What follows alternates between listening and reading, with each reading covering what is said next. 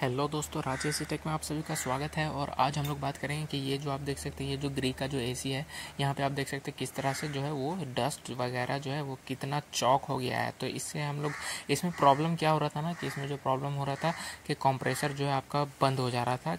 पाँच मिनट चलने के बाद। तो अभी हम लोग ये जो प्रॉब्लम था वो आपका, इसका ही प्रॉब्लम था कि आपका जो कंडेंसर जो है वो बहुत ही ज़्यादा हीट हीट होकर जो है वो हाई प्रेशर में जाके जो है वो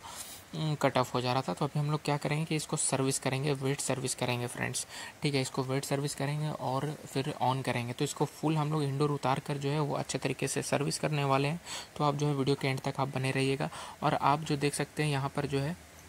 ये, यहाँ पर ये जो है आप देख सकते हैं, ये जो आपका जो ये, जब भी आप एल की वॉल जो है वो बंद करेंगे तो आप सबसे पहले ये जो डिस्चार्ज वाली जो लाइन है, आपको सबसे पहले इसमें जो है, वो आपको एल से जो है वो लॉक कर देना है और लॉक करने के बाद जो है, आपको जो क्या करना है, इस वाला, ये वाला जो वॉल है, ये इसको जो है आपको लॉक करना है। तो यानी कि आप पहले डिस्चार्ज वाला लाइन यानी कि पतला वाला लाइन लॉक करेंगे और जो है तीस से चालीस सेकेंड के बाद इसको आप जो है वो लॉक करेंगे गैस बैग जो है वो हो जाएगा। तो अभी हम लोग क्या करेंगे कि आगे बढ़ेंगे और आगे बढ़ने के बाद क्या करेंगे कि इसमें जो है हम लोग ये करेंगे कि इसको बैक गैस बैक हो गया है। आप देख सकते हैं इसका जो है गैस बैक हो चुका है और यहाँ पे जो है पाइप, आप देख सकते हैं ये जो पाइप है, ये पाइप यहाँ से हम लोग जो है वो कट करेंगे और कट करने के बाद जो है वो इसमें हम लोग फ्रेंड्स आप ये भी पूछ सकते हैं कि कट क्यों कर रहे थे हम लोग। तो कट इसलिए कर रहे थे क्योंकि कनेक्टर पहले जो जिन्होंने जो है वो लगाया था, वो वेल्डिंग ही किया था उन्होंने तो हम लोग जो है उसे कट करके जो है वो इंडोर नीचे उतार लिए हैं। और आप देख सकते हैं, ये जो आउटडोर यूनिट है, इसको जो है हम लोग सर्विस कर रहे हैं। ये जो पीछे साइड में जो है, अच्छे तरीके से हम लोग जो है वो क्लीन कर रहे हैं, ठीक है? तो क्लीन आपको अच्छे तरीके से करना है, अच्छे तरीके से भर मतलब अच्छा मतलब ज़्यादा करके पानी मारना है ताकि कचरा जो है वो पूरा पूरी जो है वो निकल जाए। और फ्रेंड्स, यहाँ नीचे जो देख सकते हैं, ये गंदगी को भी आप हटा दें, क्योंकि फ्रेंड्स आप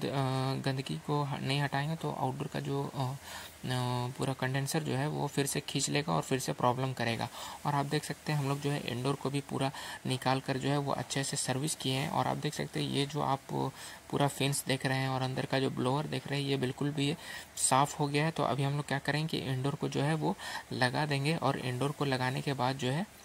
हम लोग वेल्डिंग करेंगे पाइप वेल्डिंग करेंगे। तो आप देख सकते हैं, हमने जो है इंडोर को जो है वो लगा दिया है और लगाने के बाद आप यहाँ पे देख सकते हैं कि किस तरह से जो है वेल्डिंग किया जा रहा है। और फ्रेंड्स आप वेल्डिंग करते समय भी ध्यान दें कि अंदर जो है पाइप